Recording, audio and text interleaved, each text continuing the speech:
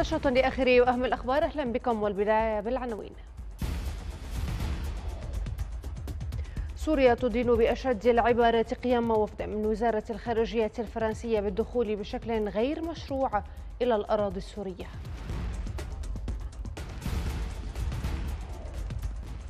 منصة الغابات ومراقبة الحرائق. فيرما تحذر من استمرار مستويات الخطورة المرتفعة للحرائق في الغابات. حتى الخميس القادم. في محافظة حلب معاناة كبيرة تجبر أصحاب المحال التجارية بسوق الهالة على الإغلاق.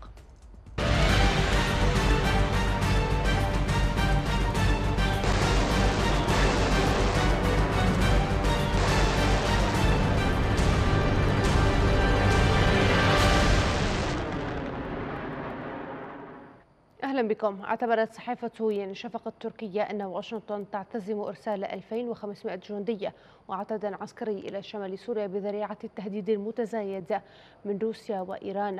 لكن هدفها الحقيقي هو حماية حزب العمال الكردستاني. وأشارت الصحيفة إلى أن الولايات المتحدة متذرعة بخطاب تعرضها للمضايقات والتهديدات من قبل روسيا وإيران. أرسلت عشرات الشاحنات المحملة بالمعدات العسكرية إلى المنطقة.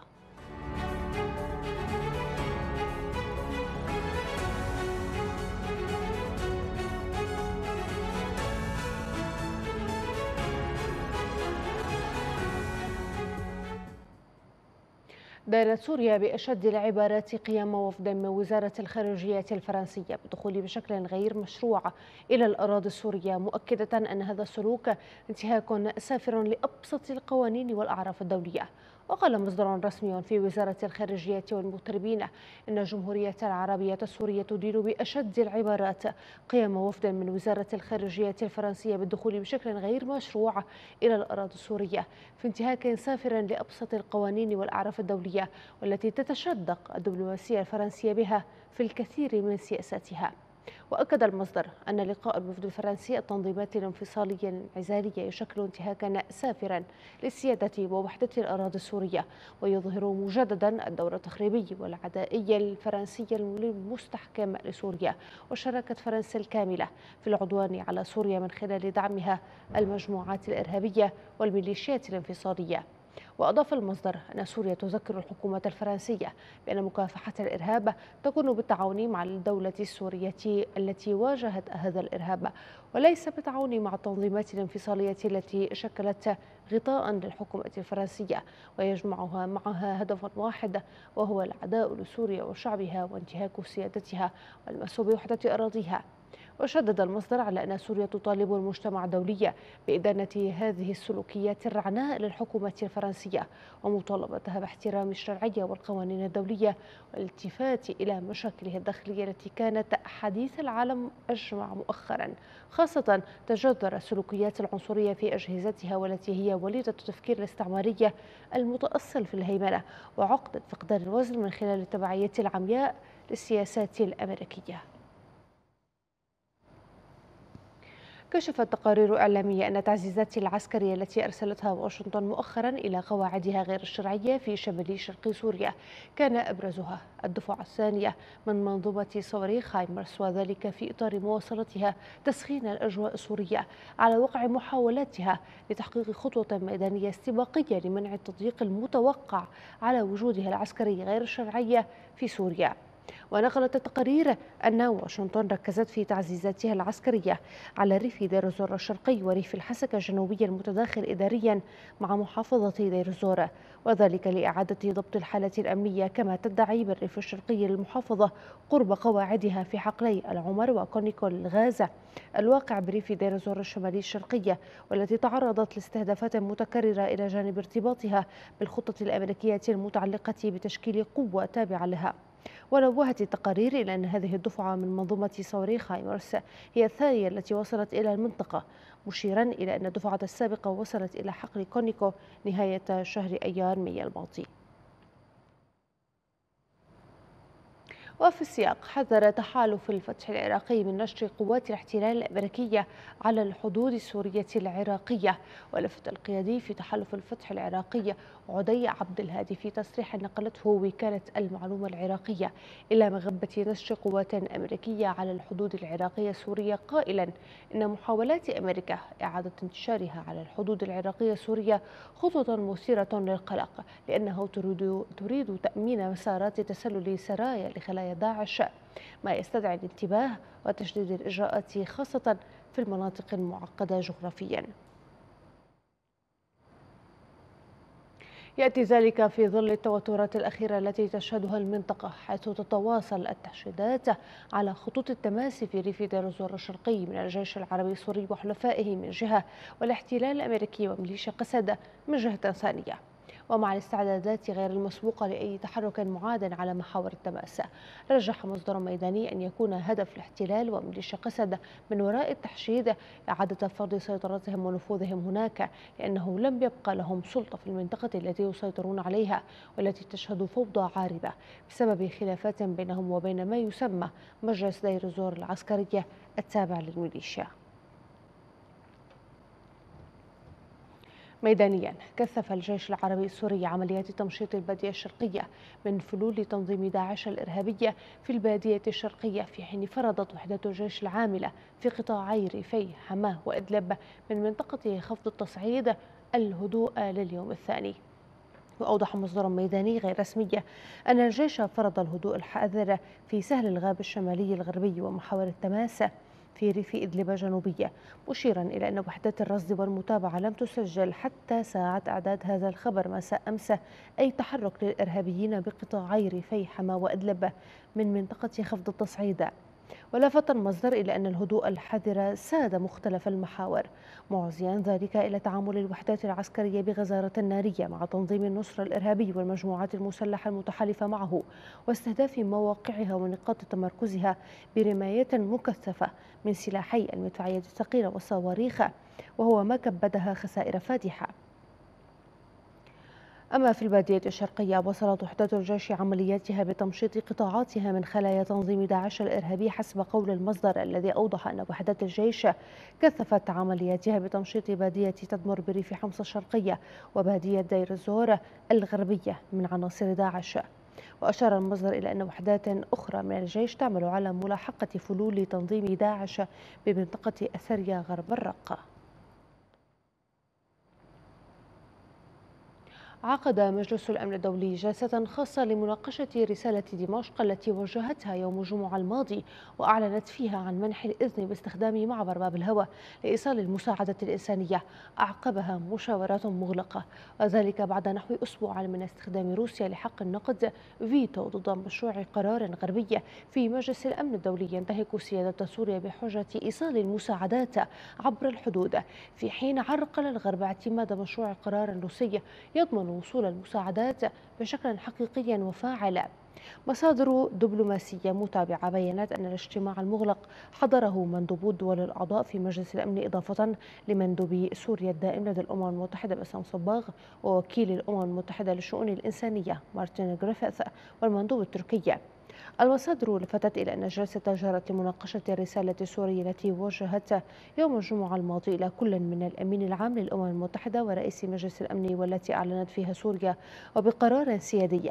منح الأمم المتحدة ووكالتها المتخصصة إذنا باستخدام معبر باب الهوى لإيصال المساعدات الإنسانية إلى محتاجيها من المدنيين في شمال غرب سوريا وذلك بالتعاون والتنسيق الكامل معها ولمدة ستة أشهر بدءا من الثالث عشر من تموز الجاري.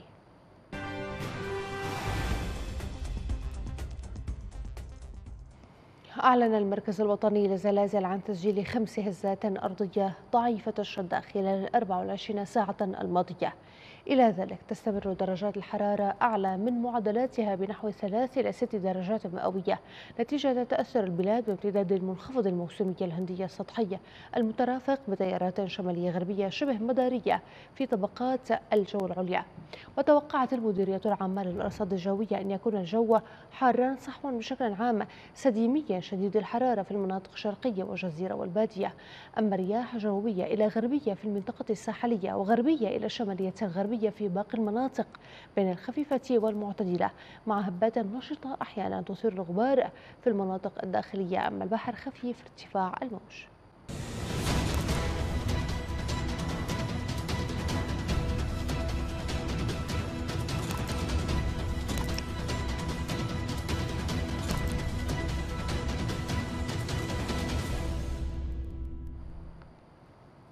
حذرت منصة الغابات ومراقبة الحرائق فيرما من استمرار تأثير تأثير عام لمستويات خطورة الحريق المرتفعة على معظم مواقع غابات شمالية غربي سوريا حتى يوم الخميس القادم مع مشاركة لتأثير المستويات المتوسطة على مواقع الغابات القريبة من الشريط الساحلي. وأوضحت المنصة عبر صفحتها الرسمية على فيسبوك أن تأثيرات الموجة الحارة لا تزال مستمرة داعية إلى الحذر من أي نشاطات قد تكون سببا في نشوب أي حريق. وبينت المنصة أنه يتم إعداد الخرائط في الهيئة العامة للاستشعار عن بعد بالتعاون مع وزارة الزراعة والإصلاح الزراعي مديرية الحراج والمديرية العامة للأرصاد الجوية. ودعت المنصة إلى عدم إشعال أي نيران وإلى الإبلاغ عن أي نار أو دخان على الأرقام المجانية 188 و113 حدد مصرف سوريا المركزي سعر صرف الليرة السورية مقابل الدولار الأمريكي للحوالات والصرافة ب 9900 ليرة للدولار الواحدة في سياق متصل. أصدر المركزي قرارا يسمح بتمويل مستوردات قطاعنا الخاص والمشترك من المواد المسموح استيرادها. وفقا للأحكام التجارية الخارجية النافذة بالقرارات وتعميم ذات الصلة بغاية وضعها بالاستهلاك المحلي. وينهي العمل بالقرار 1070 لعام 2021 المعمول به سابقا.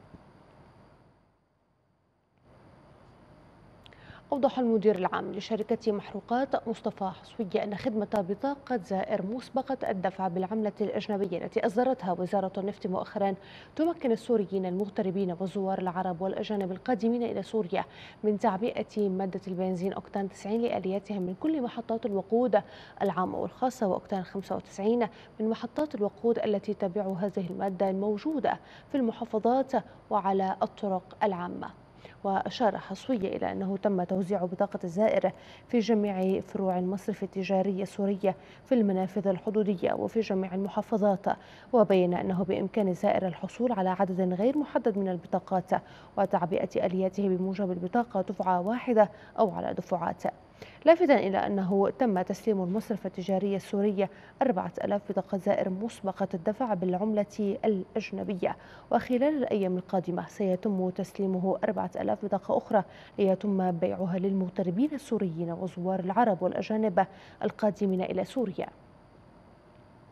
إلى ذلك أعلنت الشركة السورية لتخزين وتوزيع المواد البترولية محروقات عن إضافة مادة البنزين أوكتان 95 على بطاقات التزويد بالبنزين للسيارات الخاصة اعتبارا من يوم غد الأربعاء وحددت الشركة وفق قرار لها الكمية المخصصة لكل سيارة ب 40 لترا يوميا في المحافظة الواحدة مع إمكانية التزويد بكمية 40 لترا مرة ثانية من محافظة أخرى بنفس اليوم وبسقف شهري 1200 لتر.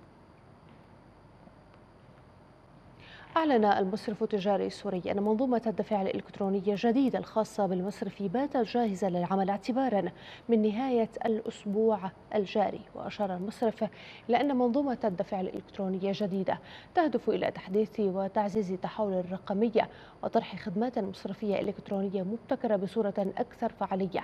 وبين المصرف أنه بهدف إطلاق المنظومة سيتم إيقاف عمل الصرافات الآلية اعتبارا من الساعة العاشرة مساء يوم غد الثلاثاء.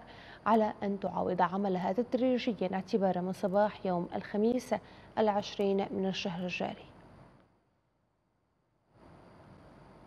ترجم طلاب ومدرسو ثانوية الشهيد أيهم ديوب المهنية بحمص ما يتلقونه من تعليم في مناهجهم الدراسية على أرض الواقع من خلال تركيب منظومة طاقة كهربائية لتغذية مركز الشبكات في جامعة البعث. باستطاعة 14 كيلووات نفذ طلاب ومدرسو ثانوية الشهيد أيهم ديوب المهنية بحمص مشروع تركيب منظومة طاقة كهروضوئية في مركز الشبكات بجامعة البعث ب 27 لوح باستطاعة 550 واط للوح الواحد. المشروع ليس الأول ويعتبر ترجمة عملية للقانون 38 لعام 2021 بتحويل المدارس المهنية إلى مراكز تدريب وإنتاج. طبعا المشروع هذا آه، بقيمة 142 مليون و700 ألف تقريبا. آه، مدة تنفيذه 45 آه، يوم. الجهة المنفذة اعتمدت على كادر خاص بمهندسينا. والحرفيين والمهنيين الموجودين بالمدرسة زائد إمكانيات طلاب المدرسة المهنية.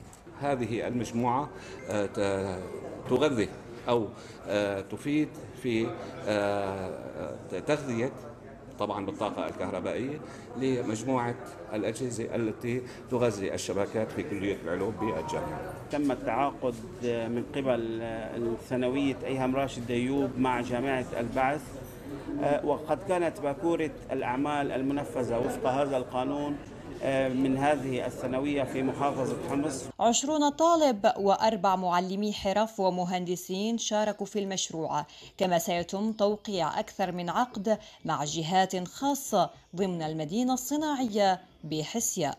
اشتغلنا اليوم مشروع طاقات شمسية. كان مشروع كثير ضخم وحلو كثير. طبعا في عندنا إفادة مادية دخلنا هيك بسوق العمل. تغيرت الظروف فورا يعني قلبت حياتنا دغري فالمشروع كان حلو كثير قمنا بتركيب طاقات كهروضوئيه عبارة عن ثلاث مجموعات كل مجموعة تضم تسعة ألواح. آه، هي عبارة عن خمس آه، طاقة بقدرة 15000 واط. تم تركيب لوحات طاقة شمسية مؤلفة من ثلاث مجموعات. كل مجموعة من تسع ألواح وثلاث بطاريات وإنفنتر. منفعة مادية وخبرات عملية تعود على الطالب في الثانويات المهنية. جراء تطبيق المرسوم 38 لعام 2021 والذي ساهم بدخول الطلاب بسوق العمل بشكل احترافي. كند الخضر لقناة سما الفضائية حمص.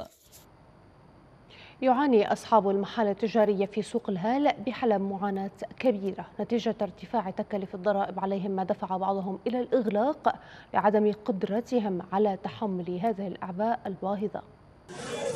تجار سوق الهال في حلب عصب أسواق المدينة ومنبع تغذيتها بخيرات البلاد ومنتجاتها الزراعية من الخضار والفواكه.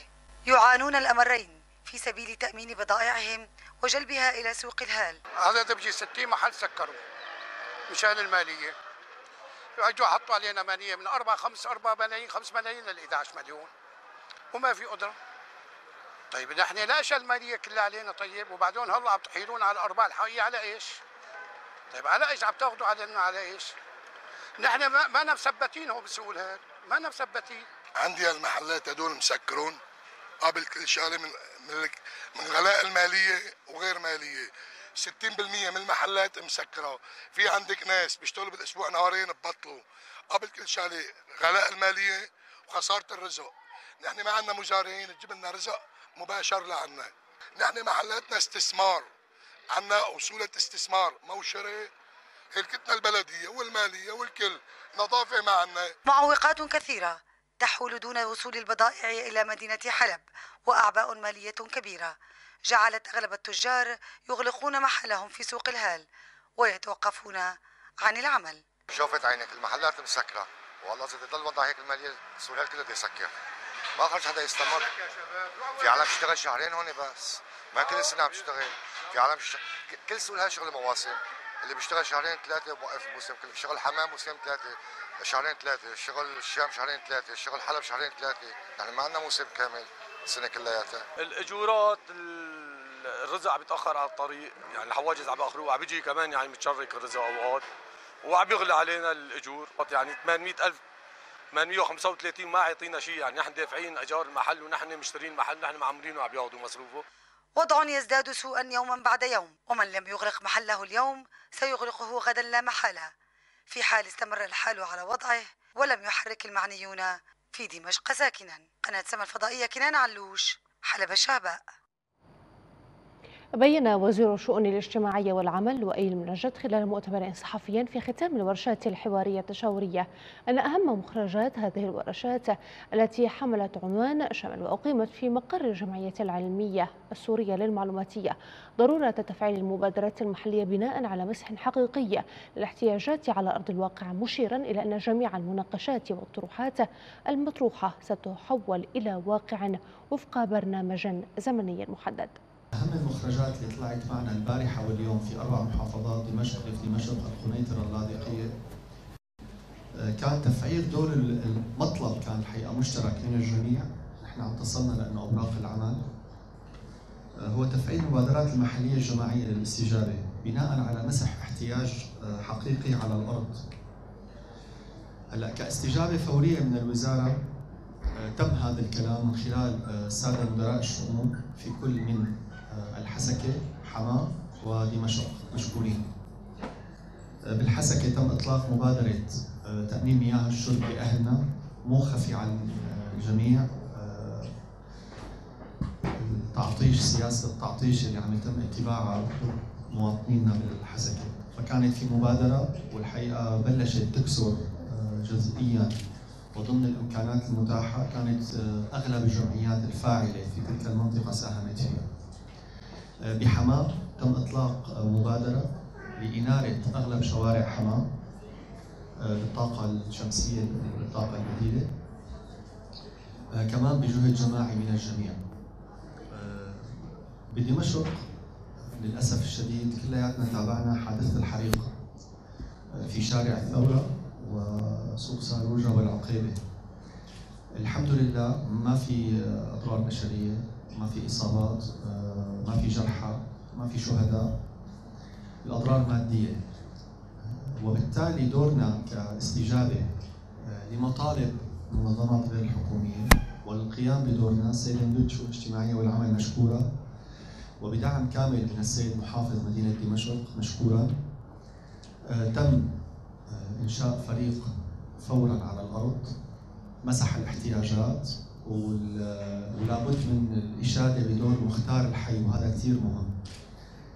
دائما بنركز على موضوع اللامركزية ودور الأصغر الوحدات الإدارية خصوصي في الإدارة المحلية.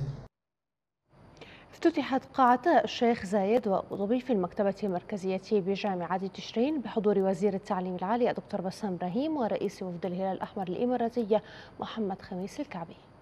فرسان التعليم هي مبادرة أطلقتها منظمة الهلال الأحمر الإماراتي في سوريا والتي افتتحت خلالها في جامعة تشرين بالمكتبة المركزية قاعتين للإنترنت والأبحاث العلمية قاعة الشيخ زايد وقاعة أبو ظبي إضافة إلى ثلاثة مخابر لغوية في المعهد العالي للغات بالجامعة. نحن اليوم سعيدين بافتتاح قاعتين مهمتين أي صالتين لأجهزة الحاسوب.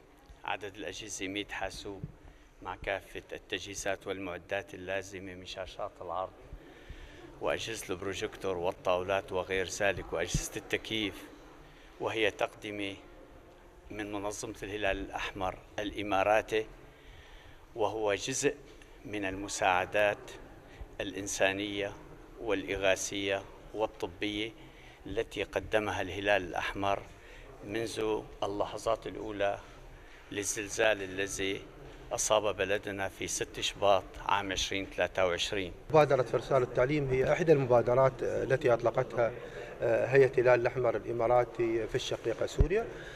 طبعا التحول الرقمي اليوم هو تحول عالمي وكان الهدف منه أن نعيد مثل هذه القاعات إلى الخدمة بأحدث الأجهزة آه، حتى يستفيد منها جميع طلاب الأكاديميين سواء في البكالوريوس أو الماجستير أو الدكتوراه. وهي آه، قاعتين من آه، سبع قاعات يتم تجهيزها. اليوم راح نفتتح هذه القاعتين وثلاث قاعات في معهد اللغات. القاعتان المفتتحتان بحضور وزير التعليم العالي والبحث العلمي الدكتور بسام إبراهيم ورئيس وفد الهلال الأحمر الإماراتي في سوريا محمد الكعبي. تضمان 100 حاسوب متطور مع أجهزة تكييف وشاشات عرض وطاولات. فيما تضم المخابر اللغوية في معهد اللغات 25 حاسوبا لكل مخبر. هذه التجهيزات ستشكل إضافة إلى ما تمتلكه جامعة تشرين من مخابر وقاعات درسية وبحثية. نحن نتطلع إلى الاستدامة في التعاون. هذا هذه الاستدامة هي لمصلحة الشعبين الشقيقين في سوريا والإمارات. تطوير العملية التعليمية والبحثية في جامعة تشرين هو هدف ترنو إليه المبادرة التي تسعى إلى إعادة هذه القاعات إلى الخدمة بأحدث التجهيزات ولا سيما في ضوء التحول الرقمي الذي أصبح تحولا عالميا في الوقت الراهن. من جامعة تشرين باسم عباس قناة السماء الفضائية. ختام النشرة شكرا للمتابعة.